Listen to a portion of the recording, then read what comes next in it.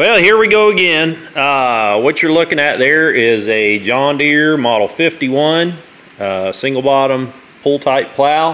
Uh, it's missing the bottom, or missing the plow, missing the mold board, whatever the hell you want to call it. It's missing the stuff that goes down in the dirt. So, other than that, it don't look too bad. It's been up a little bit. That's no nothing major there. Uh, it's got some wires and shit hanging off of it. It's missing the connecting linkage on this handle. No big deal. We can make one of them up. This one has the exposed clutch. So through the very limited research that I did online, what very limited amount of information there is online about these old things, the exposed clutch, look at that. See how it's got the lobes out on the outside? You can see the lobes. It's different than an enclosed clutch. You can't see the lobes on the working mechanism. The rod goes into that clutch casing. The exposed clutches are supposed to be early models. We're going to see if I can unbolt that whole mechanism and bolt it up there. These are similar plows to give you an idea how similar they are. So anyhow, that's a beam number 612, beam number 613, beam number 614. So they're very, very close in numbers. Model 52, Model 51, 612, 613, 614. I'm hoping I can just unbolt that whole assembly and bolt it on there and more or less be done with that. I don't think penetrating fluids are, are gonna do it. So uh, I'm just gonna use a little bit of heat on the nut.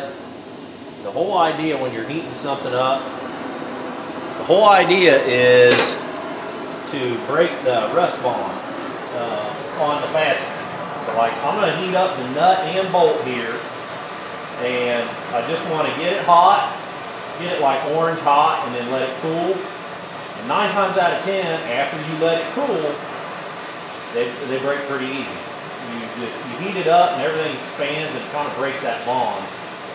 And then once you let it cool back down, everything shrinks back up to where it should be. It may be softer than it was to begin with. You may have, you know, if there was any kind of heat treat to it, you might have messed that up. But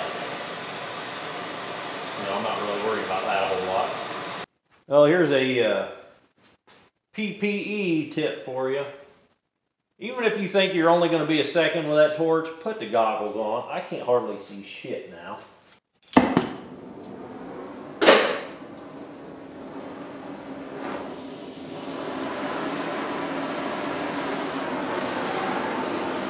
As much I'd like to save that hardware, uh, I've been beating on this thing for 15 minutes and I can't get these bolts. I got both the nuts loosened up and there's a little bolt here. I got the nut off it too. I can't get the bolts pulled out of the beam. And rather than keep beating and, and maybe do damage to the tail wheel, I'm going to sacrifice the hardware. So I'm just going to try to cut them heads off without damaging the tail wheel mount.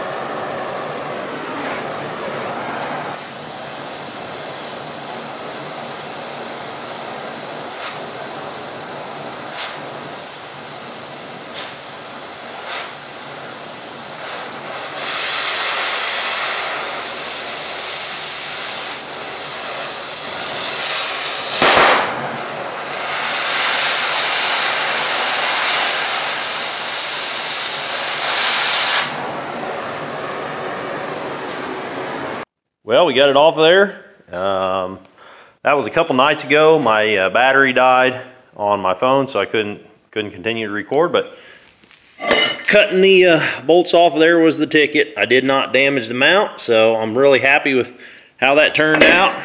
And now I'm uh, starting to loosen the bolts on this plow bottom. That one there has been welded uh, about three different places that I could see pretty quick, so I really don't want to use that that plow, I think I want to use this one. I can't see any welds on it. So I'm going to loosen up the bolts there and catch you guys up in a bit.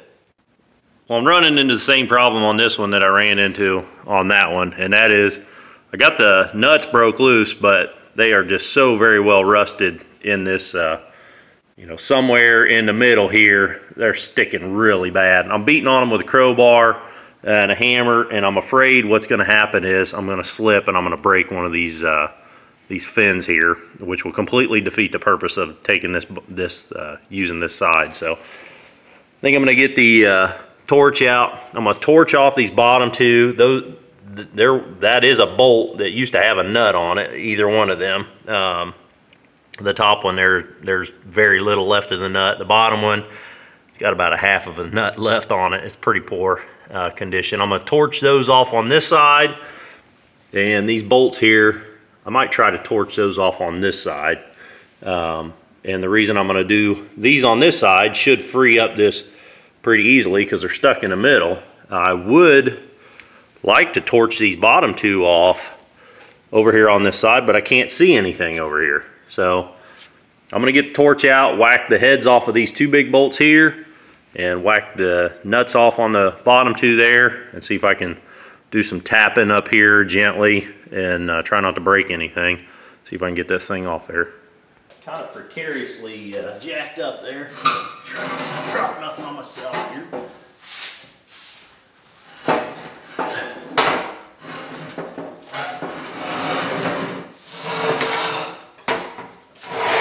There we go. All right, well, you can see I got it up on the bench. I did just a little bit of damage with the torch. I was trying to be careful, but that's uh, something you just got to watch out for whenever you're playing with a torch. Um, so this this is not terrible. Um, the uh, those two bolts that were on the bottom that I cut off from the backside, they do have a head sticking through here. It's just flush with whatever this is. I probably should have said it if I didn't already, guys, at the beginning of this. It's been a few days ago since I started this video. I am no kind of mechanic. I'm no kind of plow specialist, no kind of John Deere, nothing. I'm no expert at anything. This is just me doing, you know, tinkering out in the garage. That's all this is. This is just tinkering. You know, that's the name of the channel. I'm just tinkering with shit. I'm no expert at nothing. And uh, if I can help you guys, you know, you see what I'm doing and maybe I serve as an example of what not to do, that's that's great. You know, the more information you can gather when you're going into a project, the better off you're going to be. So I don't know what to call this stuff. You know, there's a zillion names for different parts of these plows. I'm not even going to pretend to know. Um, so anyhow, I'm thinking if I knock these bolts out of here, this whole plate will come off. Um, and I don't necessarily want it off, but I'm going to go ahead and I got to knock the bolts out anyhow. I got to get new bolts and uh, I don't know what I'm going to do to replace these with. Anyhow, I'll knock this plate off of here and then we can get back in there and, and kind of clean up behind this too because I, the more I think about it, I'm going to clean this plow up. I'm going to clean it up. I'm going to fix it up, redo that clutch, and uh, I'm probably going to keep this thing. So um, after inspecting it, you know, getting it off and looking at it, you can see just how old and rusty this thing is. You know, that started out as a square nut there. Um, that would have been a square nut, and there's like nearly nothing left of that. There would have been nuts on here. That's an end of a bolt that's completely rotted away, no nut, and barely the end of the bolt sticking out. Same thing there. Um, this would have been, looks like that's an adjuster. So uh, there would have been another one on here probably. And, uh, well, maybe not. No, maybe that's just a, a bolt with a uh, washer because there would have been nothing to adjust against. So I'll have to replace that. But you can just see how how pitted and rotted and rusty all this stuff is. I'm not going to go bananas with this. I'm going to clean it up a little bit. Anything that looks like it, you know, is falling apart, falling out, I'll replace. But um, otherwise, you know, like shit like that, that's fine. I'm going to leave that alone.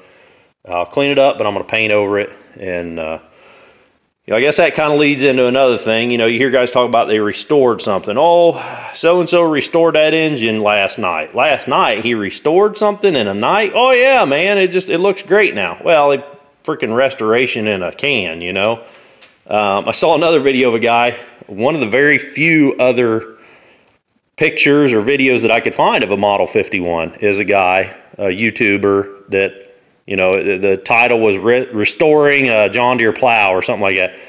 He did nothing but paint the thing. He painted it with a brush. He got green paint splattered where it shouldn't have been but his title was restoring. That ain't restoring, that's just painting the damn thing. So I'm not claiming to restore this plow. I'm just going to kind of fix it up and give it a paint job. So that's that's my whole uh, take on all that. So I'm not going to restore it. I'm not going to you know nut and bolt and, and make it back like it was factory. It's going to be old. There's going to be some worn out parts on here, um, but hopefully it'll work when I get done with it. I, maybe I want to use it, and uh, it it definitely will look better when I'm done. So I wouldn't call this restoration. Just fixing it up, tinkering. That's what we're doing here. We're tinkering. All right, so it's pretty interesting. Um, see that the head of this thing, this the bolt come out of here. It's got just a little groove on it, and there's a notch in that plate, so that's what keeps it from spinning. So I guess it had a flat head. And uh, the best thing that I'm that I'm thinking to do with these is to cut that head off and weld a new bolt on. So you can see I pulled these two out here. Uh, the this one back here, I'd hold that support rod on. Um, it was the support rod was wiggling, so I kind of tapped the plate up. It's actually being held in by another one down here. I don't know if I want to fight that or not. Um, but I pulled that one out, and that's going to be kind of my test uh, test subject here. So I cut the head off of a good bolt, and I cut the the shank off of that bad head. I've just welded it up, so it's hot, and I don't want to cool it and make it brittle. Um, but I'm going to let that cool back down and uh, grind that down smooth, and uh, we'll see if that'll work to replace these because I guess you could maybe find these somewhere, but uh, I don't know. Well, that thing sure made a mess on the bench. Uh, I've got it as cleaned up as it's going to get for the most part. I did, uh, I snagged that bolt and that uh, had an odd fastener, an odd shaped, big thick kind of a concave washer on there. I snagged that off that other plow too. And uh, I'm gonna go ahead and I'm gonna put it on here. I don't have these bolts done yet. Uh, let's see that one that I welded the head on. You can see that sticking up down there. Looks very much out of place, but it works very well. So um, the head, is, again, is flush, sits back behind this plate. I don't think that plate's probably supposed to be bent like that. That one over there is the same way. Um, I would say that plate's probably supposed to be flat. So maybe when I get it up there, I'll see what I can do to get that a uh, little better fit there. But I'm gonna go ahead and stick it on there now and uh, uh, temporarily bolt it. I don't have, I don't think I have carriage bolts big enough to do this yet.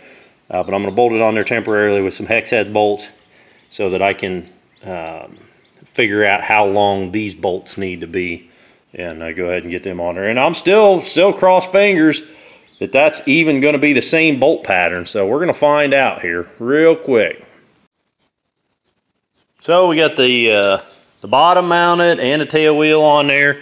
And now you can see how good that tail wheel's spinning. Uh, I've moved my attention now to this coulter. There was like a, a mount here for a cleaner for the coulter. I don't know what you call it exactly, but it would have been a little blade that would make sure the coulter stayed clean. I took that mount off and I have removed the coulter. I don't know if I want to disassemble it completely or not, but I do want to get it freed up. So um, I've been using a torch a lot on this thing, and you know this old iron been sitting around pretty rusty. And for you guys that don't know, if you got old, rusty, sticky stuff, hit it with a torch, get it glowing orange. Well, not glowing orange, but get it orange, and then let it cool down. Walk away from it for a few minutes. And then when you come back, you can put a wrench on it and it'll break right loose normally. So um, I got the torch out there right now. You can see I've removed that other arm. I don't know what manufacturer that was, but it was different. So I'm gonna snag the arm off of that one. And you know, I've got the torch out here because I was out here heating these bolts up a few minutes ago. And you can see how they're discolored now, this one and that one there. And they're, yeah, they're cooling down pretty good. So I'll be able to come out here and just a little bit put a wrench on them. They should break right loose. And I think that way, let's see, I'll take this arm off of here and then I'll snag this linkage off with it too. So I'll get the handle, the linkage, and the arm in one shot there. I kind of was looking at the wheel. Um, that drive wheel on that side doesn't have any traction on it. And I don't know what you call these little traction bars here, but I thought, well, I could take each one off individually or I may take, I may be able to take that wheel off. You see it's got a, uh, like three bolts holding the hub together. This one is a very similar looking wheel, uh, but the fastening system is different. And I wonder if there isn't supposed to be a cap that threads on here. I'll bet you there is. So um, that may be something I end up having to round up. I'll bet you there's a cap supposed to thread on there. Yep, I'll bet you it looks, I'll bet you it looks a lot like that. So maybe that's something I'm missing. Um, that's what I'm working on right now. Well, now what I'm working on is these uh, arms. Uh, got this one mounted up and it looks really good. I straightened out the rod, just uh, disconnected it, pounded it flat on the anvil over there. Uh, I'm working on this other rod here and it had a had a bend and a twist. It was kind of funny. Uh, actually had a couple of different bends in it. So I had to disconnect the thing, take the, the upper half over, straighten it out too.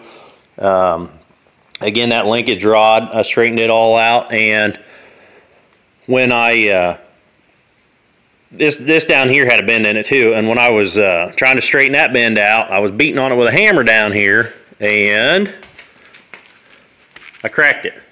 So right here you can see where I've got it uh, cut in with a grinder.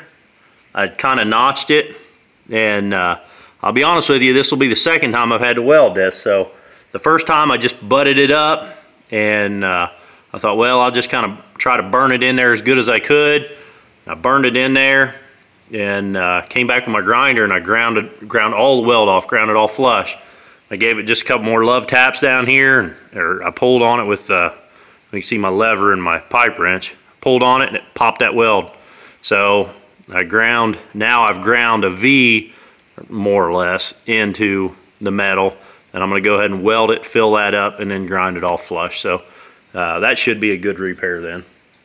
And uh, after that, I'll hook the linkages up on the arms here and uh, see what else I can get into on this thing. All right, so uh, I got in this wheel to just clean it up. It, it spun real good and everything, um, but I got in it to uh, just make sure everything was good in there. Uh, put a new grease fitting on the back, grease it up, it spun real good.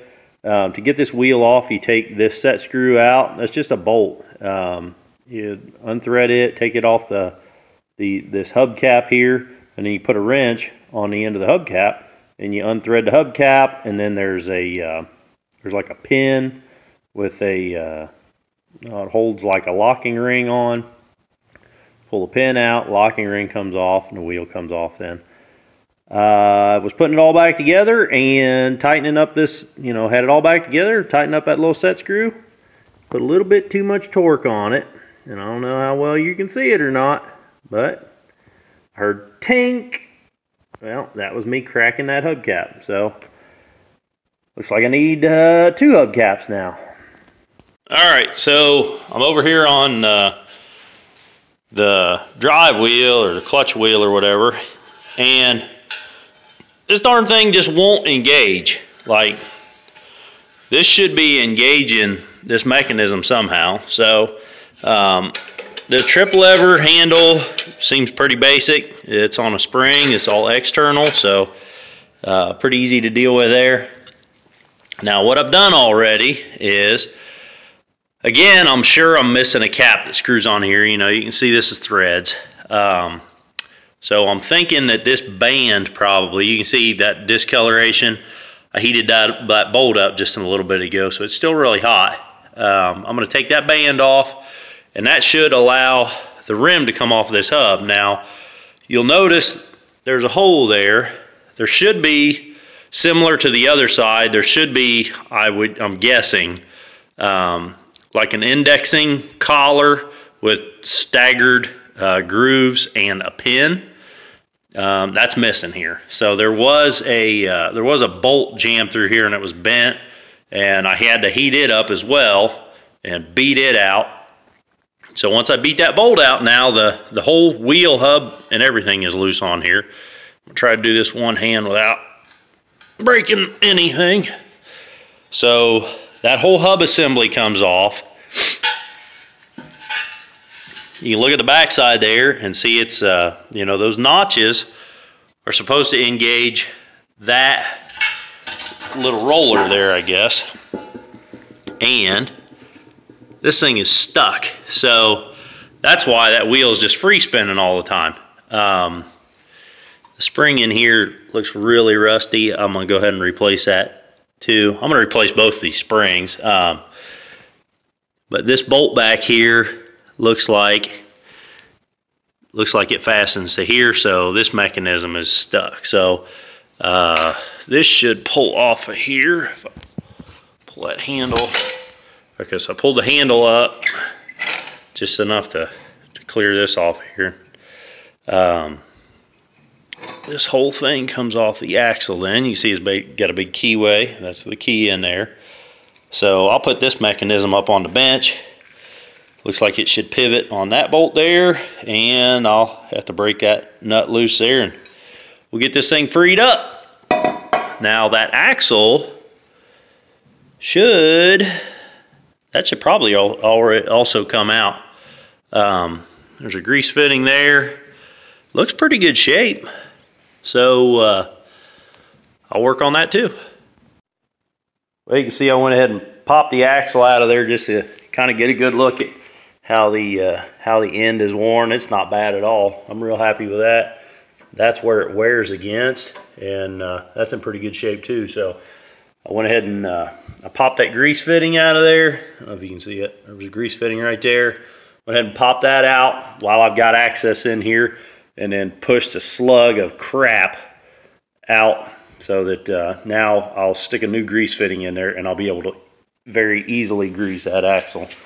Uh, also been working on this, uh, this, I guess this is biggest part of the clutch mechanism and I got it all freed up. So um, not a whole lot really kind of simple with this thing. Uh, it's riveted you know, pivots on that rivet. This is a bolt that goes through and connects the two, and it also limits the amount of travel here. There's a slot, so um, I'm still not entirely certain how this mechanism all works together to, you know, raise and lower the plier, but we'll we'll find out here. So I'm gonna go ahead and stick a new uh, grease fitting in there and uh, kind of reassemble this stuff, and uh, we'll go from there.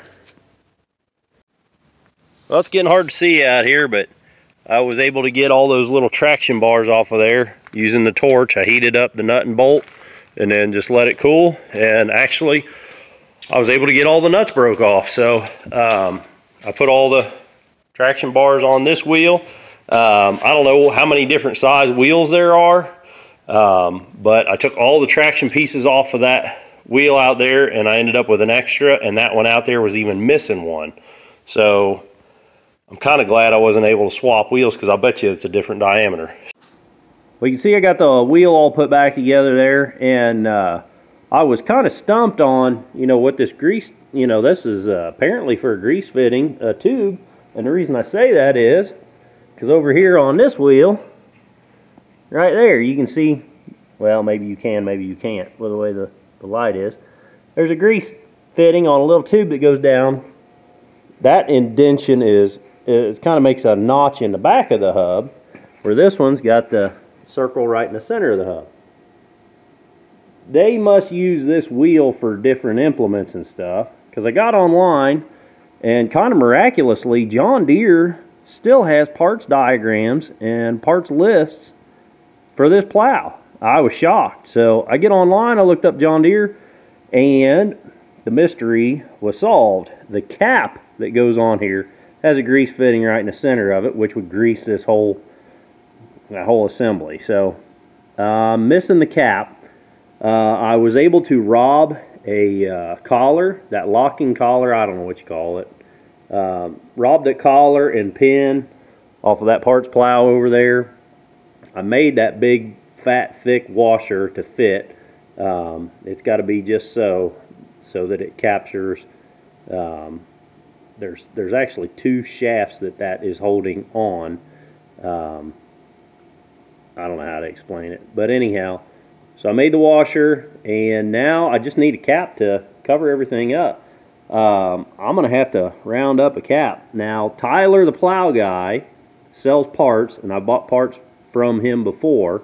Uh, called and left him a message. Hopefully he'll call me back soon and I'm hoping that I can get uh, that cap and that one over there since I cracked it and I may even get lucky and maybe he's got these springs in stock I don't know uh, I may just end up having to source them at the hardware store or something, but I definitely need to replace those springs because they're very weak.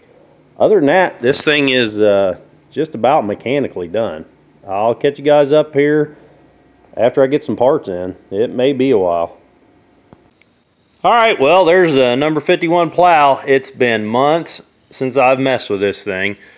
The uh, springs came in a long time ago. I ordered that spring and this little spring. Um, that little spring must go inside that hub. It's been so long that I don't remember that little spring at all. It's got to be inside there though. Uh, this cap, I can't remember where I got this. I bought this off some old some old boy. I think he was in Washington. Again, guys, it's been months. I'm sorry I forgot who I got that from. Uh, I got the spring kit from Tyler Buckheit, and I called him about that cap too, and he didn't have one. He said those are uh, about rare as hen's teeth. Uh, he gave me a number from a fella, and I called that old boy, and he had one, but it was cracked. Um, so that's the only only one I could find. So I was glad to get what I could get. I could probably get somebody to weld that up for me or I could attempt to weld it myself, but I'm not gonna. So um, JB Weld to do good for now. If that don't hold for looks, then uh, I, will pay somebody to weld it for me, but I'm no good at cast iron. So.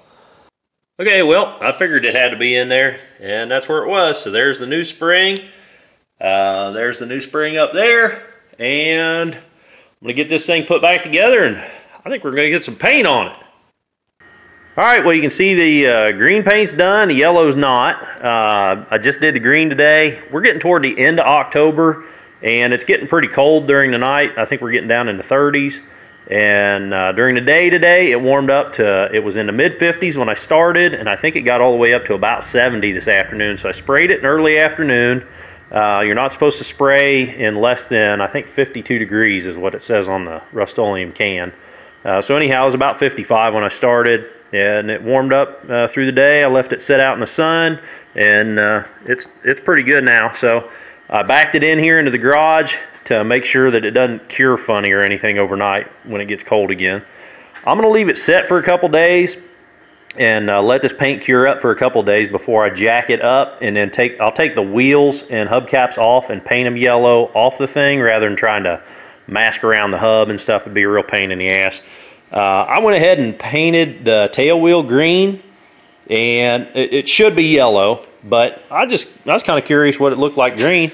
Uh, it don't look bad, but I'll probably go ahead and paint it yellow anyhow. Uh, I painted the whole plow and everything. I doubt this thing will ever see dirt again. So, you know, I was kind of up in a, in a I don't know, I was contemplating just painting it like a dull black or scouring it with a grinder or something. I said, to hell with it. I'll just paint it green. I painted the Coulter too. Um, what I did for paint with this thing is uh, Rust-Oleum makes a John Deere green. They make a John Deere yellow. I think they make an Oliver and they might make an International. They make a handful of different tractor colors. And I've used this stuff. You can buy it in gallons, which this is. You can buy it in quarts or aerosol spray cans. This either came from one of three places. I can't remember. It either come from Tractor Supply, Home Depot, or Lowe's. So if you're looking for it, check there. Um, they don't all carry the you know the same size jugs. I think I think Lowe's carries the aerosol cans, and they're this they're the cheapest place you can find them.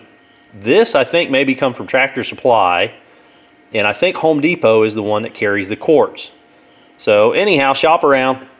Um, but according to Rust-Oleum customer support or tech support, whatever you want to call them, um, I had to call a couple of years ago because they quit putting the instructions for thinning to spray on the back of their can. They used to tell you what you could mix it up with and how to mix it and everything, but they don't on the instructions anymore. So a couple of years ago I called and talked to them. They said to use acetone to thin with because acetone is in the paint already. So you're just making it more diluted um, and not to use mineral spirits for whatever reason. Now I know some guys do use mineral spirits and they get pretty good results. So maybe it's not that big a deal, but that's tech support recommends acetone.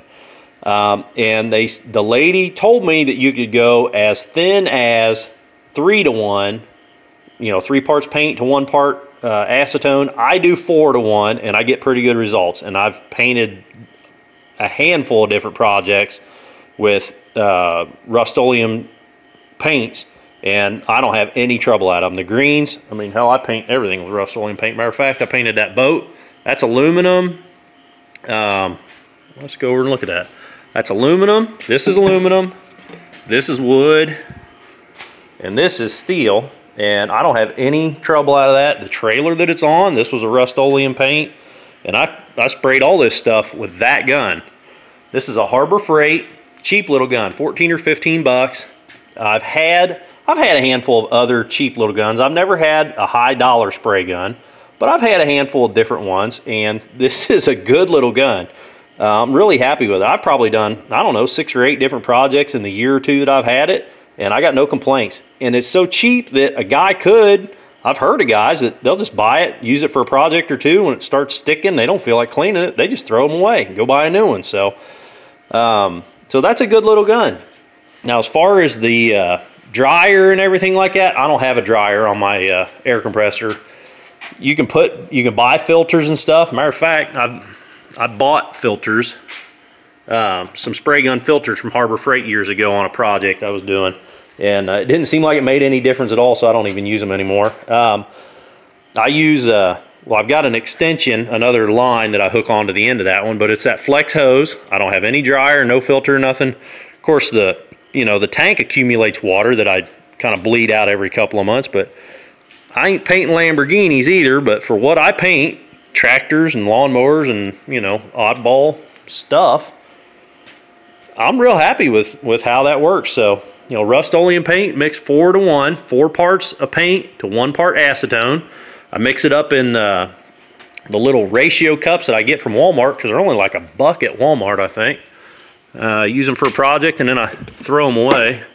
Let's see i think this is this is a walmart cup here so they're real easy to use. And when I say four to one, you can just look at the, uh, you know, it's got graphs on the side of the thing. So like I was mixing up six units of four to one. So I poured it in, poured in the paint till it got to number six. And then I topped it off with acetone till it got to this number six. So these are like a dollar at Walmart, I think, in the paint section. So use them and then throw them away. It's cheap.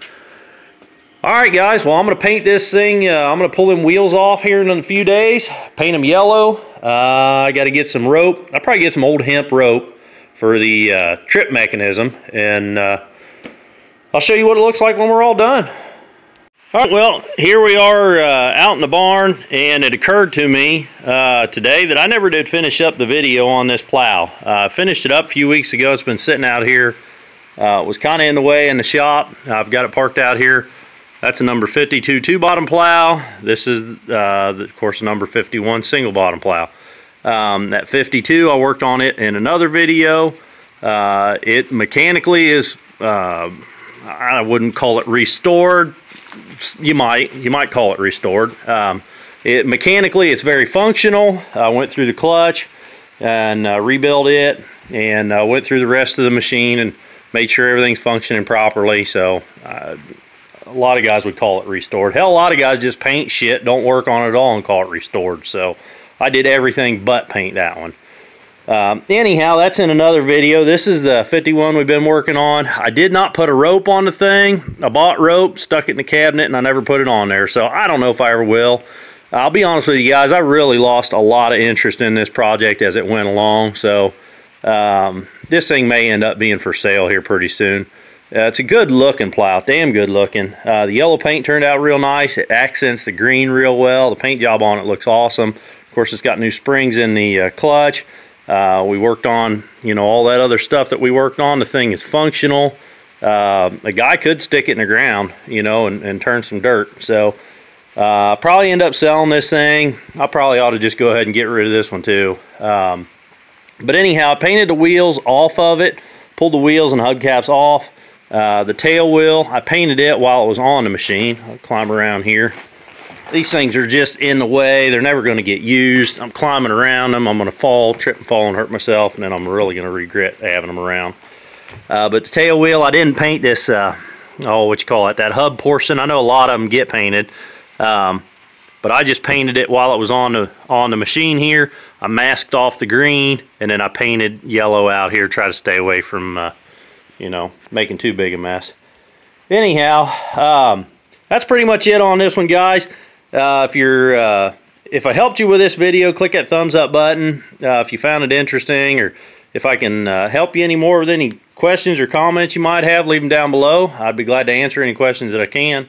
And uh, until the next video, keep on tinkering.